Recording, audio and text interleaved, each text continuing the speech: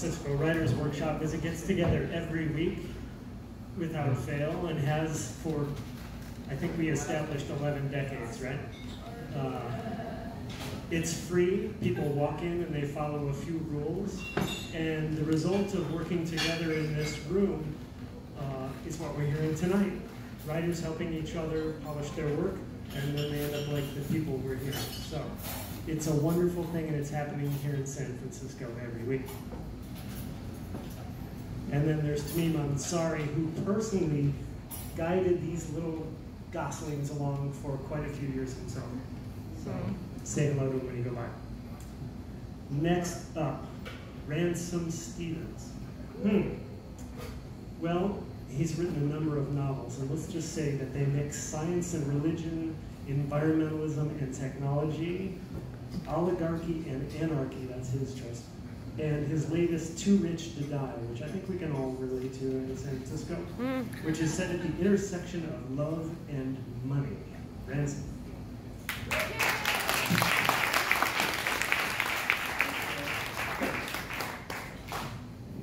All right, thank you very much for having me, Olga and Kurt, and the San Francisco Writers Workshop. Um, I learned pretty much everything I know about writing narrative at the workshop, so it was uh, very useful to me. Tonight I'm going to read from the 99% Solution. So turn to page 25. you, you didn't bring your copy? the setting is September 23rd, 2011, Wall Street, 12.05 p.m. The timer is down to 2 minutes 37 seconds. Officer Justin steps away from Lucy, back to his comrades and the growing turmoil along the barricade. More police advance. Lucy and the two others who were pulled over the barricade have their hands tied behind their backs with plastic cable ties and are being guided to a paddy wagon, a bus. All but Lucy caught some of the pepper spray in her eyes. The lull ends with a series of crashing bottles. A large stone lands in the windshield of a police cruiser, shattering the window. Three people in Guy Fawkes masks launch over the barricade, and a torrent of others follow, like water flowing over a dam.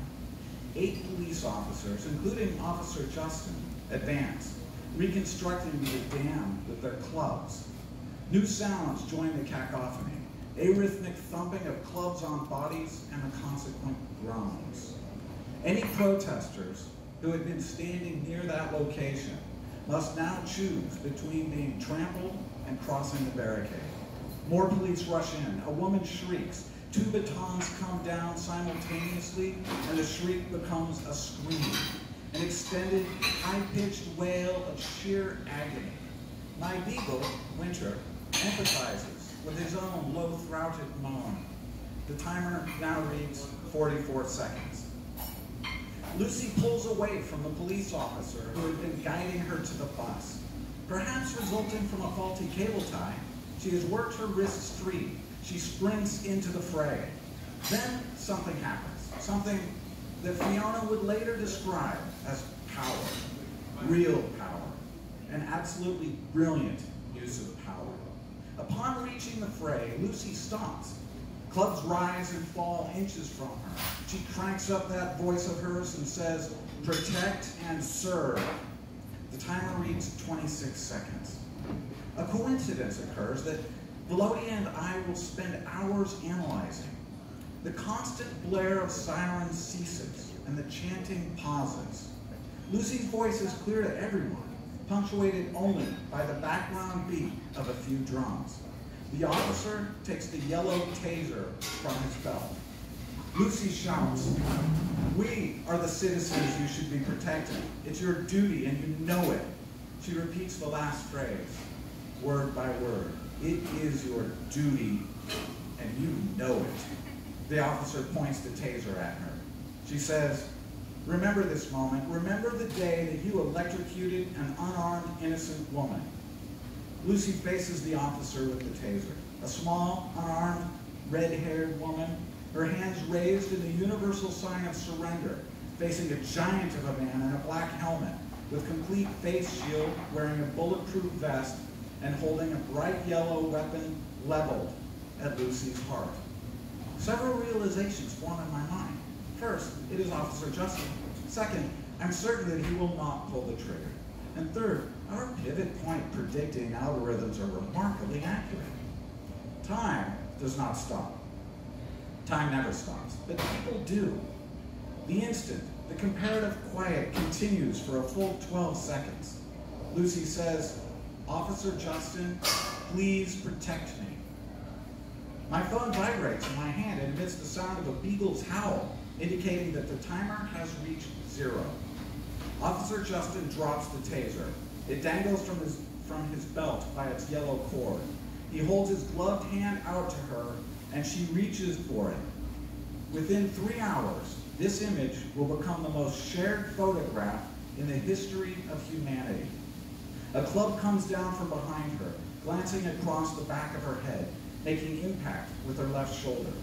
Lucy falls, her right arm outstretched, hand still held by Officer Justin. She doesn't make a sound. He pulls her forward.